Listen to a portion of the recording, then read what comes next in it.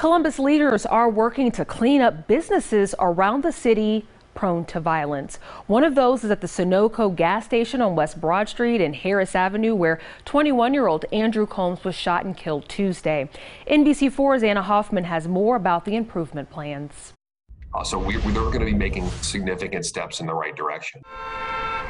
This West Broad Street gas station has a history of violence, but city leaders hope violence is not in their future. But this particular gas station, the Sunoco, is going to see improved lighting, it's going to see uh, improved security, uh, and it's going to see uh, uh, video camera surveillance. Uh, and, and I think they're also going to close their bathroom to the public as well. So, like, it'll help with the ingress and egress City Attorney Zach Klein says this week they filed an agreement with the business's new owners, which says these improvements will happen.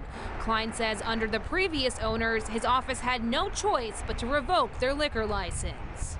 The business was sold about a year ago, and the previous ownership group fell into the bucket of not working.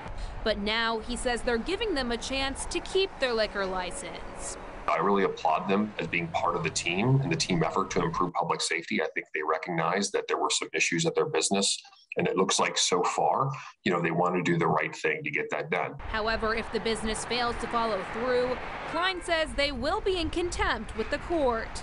This particular place, it happened to be uh, a location where a lot of folks were just loitering and trespassing on the property. You can eliminate kind of the unwanted trespassing individuals who are causing the problems. That hopefully, and coupled with the lighting and video uh, and security personnel, will improve public safety for that particular location, but also the neighborhood that surrounds it.